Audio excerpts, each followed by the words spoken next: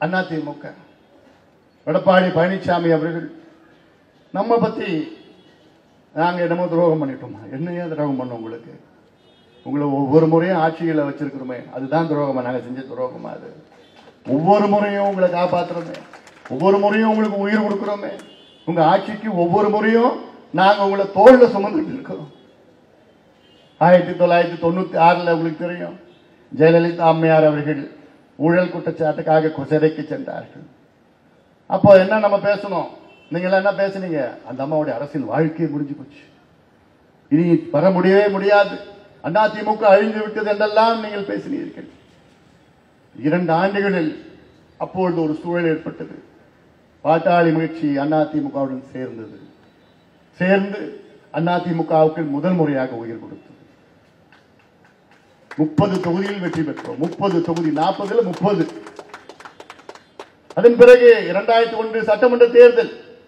ஜெயலலிதா அம்மையார் இதற்கு பிறகு முதலமைச்சராக வரவே முடியாது என்ற ஒரு சூழல் இருந்த நேரத்திலே அப்பொழுதும் பாட்டாளி முயற்சி முதன் முதலாக உங்களுடன் சேர்ந்தோம் கூட்டணி சேர்ந்தோம்.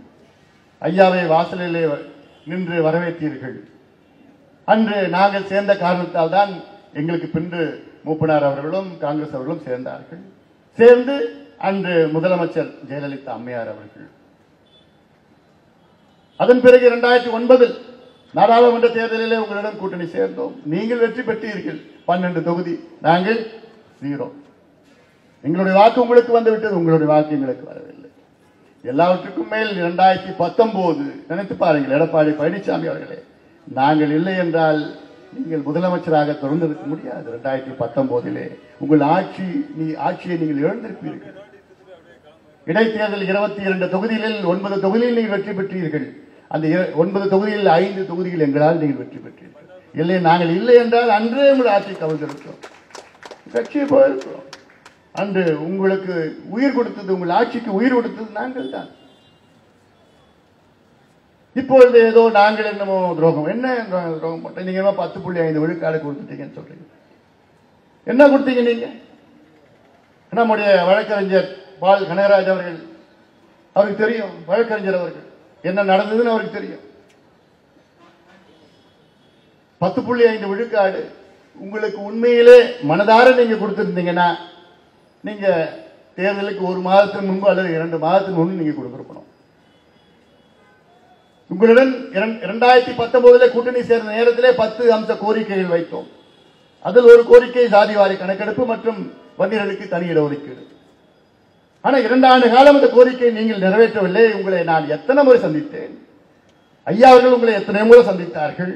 வலியுறுத்தினோம் போராட்டம் நான்கு மாதம் தொடர் போராட்டம் நடத்தினோம். அப்பெல்லாம் உங்களுக்கு இல்லை கொடுக்கணும்னு தோணல. பிறகு தேர்தலில் கூட்டணி வைத்தால் நாங்கள் கொடுக்கின்றோம் என்று ஒரு அழுத்தம். ஐயா அவனை ஒத்துக்கிட்டோம். எங்களுக்கு வேண்டியது இடஒதுக்கீடு. எங்கள் ஐயா அவர்கள் நாற்பத்தி நாலு ஆண்டுகள் அப்போ நாற்பத்தி நாலு ஆண்டுகள் உழைப்பு. ஒரே நாளில் இருபத்தோரு உயிர்களை இழந்தோம். நூற்றுக்கணக்கான உயிர்கள் தியாகம் செய்திருக்கின்றார்கள். லட்சக்கணக்கான மக்கள் சிறைக்கு சென்றார்கள். சமூக நீதி பிரச்சனை. இது. ஜாதி பிரச்சனை கிடையாது. சமூக நீதி பிரச்சனை. சமூக நீதி பிரச்சனைக்காக நாங்கள் சமரசம் செய்து கொண்டோம். எங்களுக்கு இடம் கூட வேணாம் தொகுதி கூட வேண்டாம். இடஒதுக்கீடு கொடுங்க. உங்க கூட வரோம் கூட்டணி வரோம். அந்த காரணத்துக்காக தான் நாங்கள் சென்றோம். எப்ப தெரியுமா கொடுக்குறாங்க இடஒதுக்கீடை? சாயங்காலம் நாலு மணிக்கு தேர்தல் கமிஷன் தேர்தல் அறிவிக்க போகுது. சாயங்காலம் நாலு மணிக்கு. எப்ப கொடுக்குறாங்க? ஒரு மணிக்கு அது எப்படி கொடுத்தாங்க தெரியுமா? இவ்வளவுதான் சீட்டு கொடுப்போம். இந்த கையெழுத்து போடுங்க. இதுல போட்டீங்கன்னா நாங்க ஒரு மணிக்கு நாங்க சட்டத்தை கொண்டு வரோம் இது எவ்வளவு பெரிய ஒரு துரோகம்.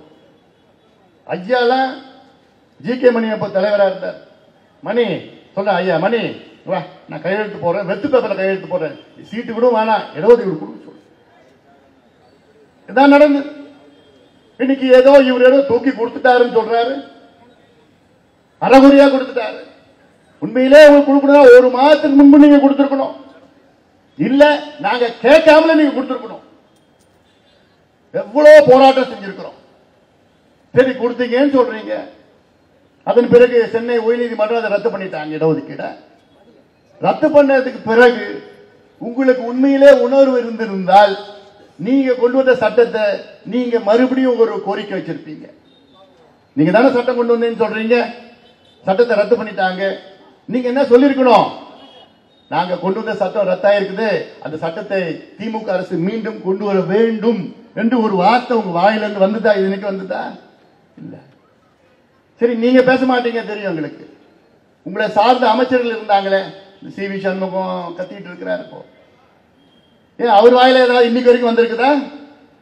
பத்து புள்ளி ஐந்து விடக்க இடஒதுக்கீடு கொடுக்கணும்னு ஏதாவது ஒரு வார்த்தை வந்திருக்குதா? இல்லையே. ஓட்டு மட்டும் வேணும். உங்களுக்கு கொடி பிடிக்கணும் கோஷம் பண்ணணும் ஓட்டு போடணும் உங்களுக்கு எங்களை தோல்ல சுமக்கணும். அடிமைகளாக இருக்கணும். போதும்பா போதும்பா. பட்டது போதும். அதனால்தான் இந்த முடிவை எடுத்திருக்கின்றோம். இது மிக முக்கியமான முடிவு. பாட்டாளி மக்கள் எடுத்த முடிவு. மிக முக்கியமான முடிவாக நான் பார்க்கின்றேன். செய்திகளை உடனுக்குடனும் துல்லியமாகவும் தெரிந்து கொள்ள சப்ஸ்கிரைப் பண்ணுங்க.